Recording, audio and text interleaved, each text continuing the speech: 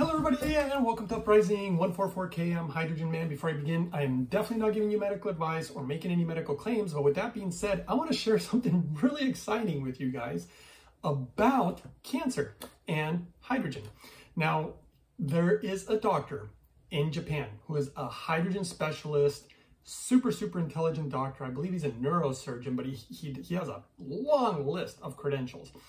And I can probably get more details if you guys want, you know, comment below if you want some of that information. But what I just recently found out is he normally works with patients with a lot of different brain issues.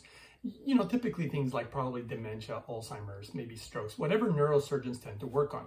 However, he has recently been seeing some information where the machine, he, the only machine he recommends or uses is the Lourdes Hydrofix obviously the one that I use because it's the best and they keep upping their ante as far as the technology when no other company does. It's unbelievable what these guys are doing.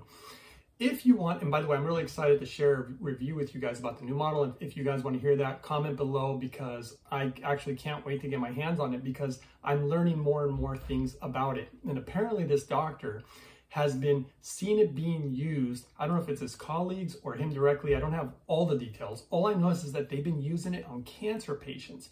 And the interesting thing that they've been seeing, apparently, as the technology has gotten better, and this is something that I observed too, I just haven't heard a lot of people talk about it.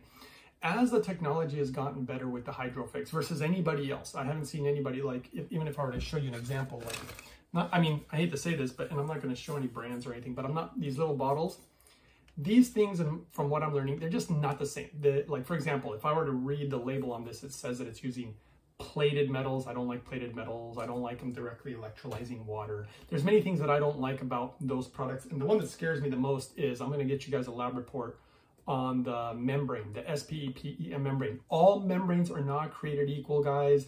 The lab report I saw on membranes appears to be it tested positive for something called PFAS, a forever chemical that I really am not fond of, me personally, just because read about it, the toxicity of it, and how dangerous that chemical is for the human body.